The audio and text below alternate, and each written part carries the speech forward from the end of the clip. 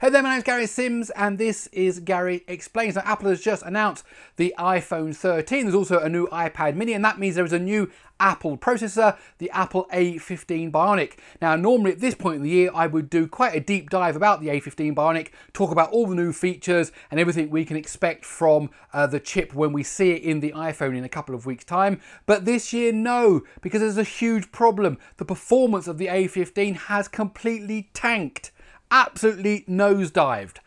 Well, if you want to find out more, please let me explain.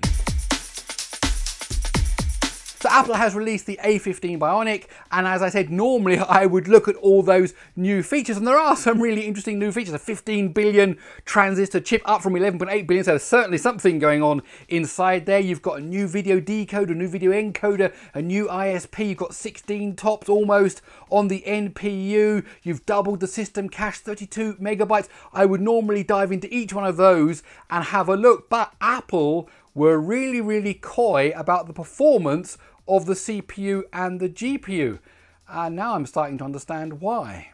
So normally when Apple releases a new CPU, it will be saying, oh, it's 20% faster, 30% more efficient, you know, the fastest uh, Apple processor ever kind of thing. And they didn't do any of that. In fact, uh, all that it did was say uh, it's 50% uh, faster than co the competition.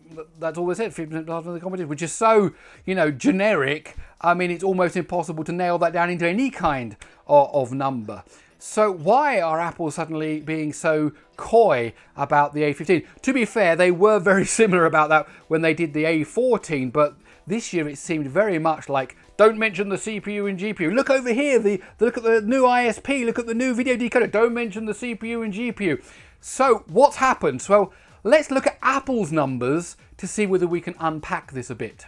Now our starting point is that Apple have had obviously several generations of uh, the, the Apple Silicon. And if you go back to the Apple A12 Bionic, we found that not only in the iPhones of the time, but also in the iPad mini and the iPad Air and we can, because there's now a new iPad that's come out, we can actually start to extrapolate some of the data because for the iPad, they did say something because the numbers look impressive. Uh, you know, up to 80% better GPU performance. So that's like, oh, that's a, that's a really good number. So let's actually unpack it and see what Apple have said about the performance of the A15 CPU and GPU. So as I said, we've got the A12 Bionic in the third generation iPad Air and the fifth generation iPad Mini. Now, when the A13 came out in the iPhone 11 series, Apple stated quite categorically that the CPU was 20% better and the GPU was 20% better, and that's the kind of things we've been expecting from Apple over the years. Now, when the A14 Bionic came out, uh, Apple actually did say how much faster the iPad Air fourth generation was compared to the iPad Air third generation. So in that case then we now know that the A12 compared to the A14 was 40% increase in CPU, 30% increase in GPU and that kind of falls in line because you've got the A12 then you've got the A13 then you come to that A14 so the iPad was uh, didn't use the A13 so that's the kind of thing we would expect. And now, of course, we've got the A15 in the iPad mini 6th generation. And in the iPad mini 6th generation press release, Apple do say that the CPU is 40% faster and 80% faster for the GPU. Now, 80% for the GPU, we'll talk more about in a minute, but you may just remember I said 40% faster a second ago, and I did. When I was talking about the Apple A14 in the iPad Air, that was also 40% faster. And now you've got the Apple A15, and that's 40% faster, both compared to the A12. So you do a bit of maths, if it, the A14 was 40% faster and the A15 is 40% faster, then the A14 and the A15 are basically the same processor. There's, there's no difference, it's, it's the same thing. Now they did say 80% better GPU. Now when you do the maths behind that, of course the new GPU, they've gone to this 5 core GPU in the upper range of the iPhone 13, the Pro, the Pro models, and they've used the 5 core GPU in the iPad mini, so you're expecting a bigger boost there. And when you do the comparison with the A14, that means we're looking about a 38% increase in GPU performance compared to the A14 if you've got the 5 GPU version. And that's great, and that's what we that's kind of numbers fall into aligned to what we'd expect. But we've still got the problem if you've got the 4 GPU version, uh, then the performance is going to be very, very similar. And of course, we've just said that the CPU performance is very similar. In fact, maybe no difference whatsoever.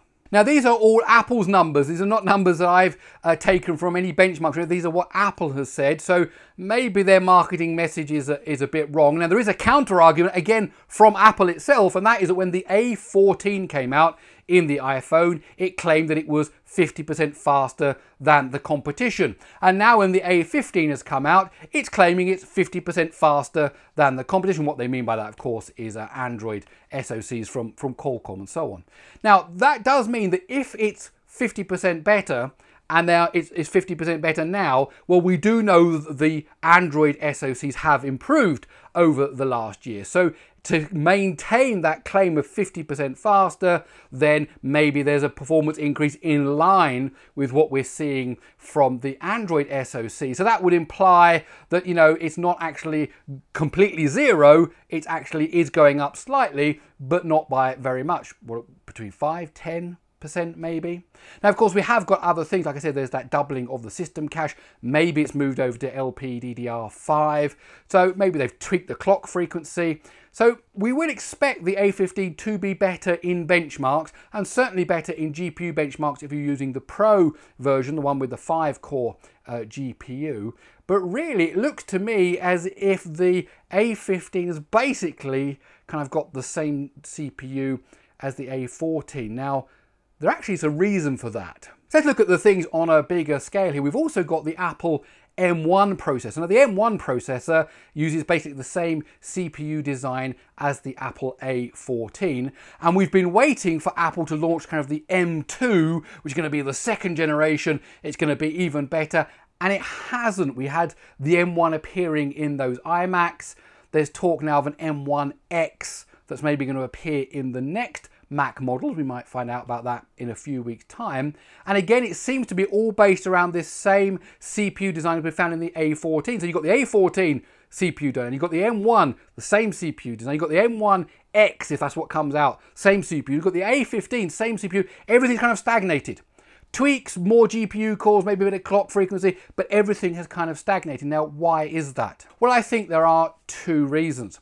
The first is that, as I've said in quite a few other videos here, Apple did lose some key staff in 2019. In fact, one of them, William, uh, Gerard Williams III, went on to start a company called Nuvia that then got bought out by Qualcomm. And I've now got a video here on the channel talking about how Qualcomm are saying they're going to have chips that are faster than Apple's chips because basically they've got Apple's engineers working for them now. So in that case, that was 2019. Now it does take about two years to design a new CPU. So it looks like somewhere along the line there, they had to say, oh dear, we've staffing problems before you get new people in, before you bring them up to speed, before you find new talent, before, you know, it's a big issue when you lose staff. And so they've, they've missed a step. They've said, okay, we're going to have to just tweak and tune and, you know, and let's see what we can bring out for this, you know, how long we can extend the, the existing A14 architecture and just stretch it out a bit longer. At the same time, they did also employ Mike Filippo, who was actually working for ARM, was one of the major CPU architects. I've actually got a video, uh, an interview with Mike Filippo I did years and years ago. I think it's on the Android Authority channel. Okay, so he's a huge, uh, he's actually a huge guy as well. He's really, really tall, but he's a huge guy in terms of uh, CPU design. So he went over to ARM. Now, maybe what they decided to do was that the ARM v9 stuff that I thought would be here in the A15, maybe that's going to be in the next generation. And someone like Mike, I have no idea, I haven't spoken to you about this, someone like Mike is actually heading up a new generation of CPU, but they're behind. Because of the whole staffing changes stuff, everything kind of missed a generation. So the M2 and the A16 will be uh, ARM v9, new generation, everything else we're expecting. At the moment, they're kind of eking out these designs that we had in the A14, now in the A15, the M1, the M1X, all basically the same big family of CPU. Now what that means of course for the competition is that just like in a race, if the person running at the front stumbles, then the people who are were behind are able to come up and catch or maybe even overtaken. So there are two factors here. One is, of course, is that Apple have stumbled, which means the normal generational increases that we're going to get from Qualcomm, from MediaTek, from Samsung, oh, we're going to see those, and that means they can close in the gap to the uh, the Apple processors. But also, as I've said, and as I've got a video here on this channel, you've got the purchase of Nuvia by Qualcomm, and they are saying they're going to bring out uh, new chips, and they are reckoning they're going to be even faster. So a combined stumble a combined normal generational increase and an acquiring of new talent and new technology from Qualcomm could mean that in 2022 we're going to see quite a radical change in the leaderboard for overall performance. Okay, so there you go. That's my thoughts about this. As I said, the A15 does have lots of interesting things in it, but really this fact that using Apple's own numbers, there is a 0% increase in performance, I found to be quite startling.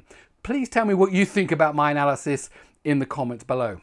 Okay, that's it. My name's Gary Sims. I really do hope you enjoyed my analysis of this situation. If you did, please do give it a thumbs up. Also, don't forget you can follow me on Twitter at Gary Explains, and I also have a newsletter. Go over to GaryExplains.com, type in your email address, no spam, just the newsletter. Okay, that's it. I'll see you in the next one.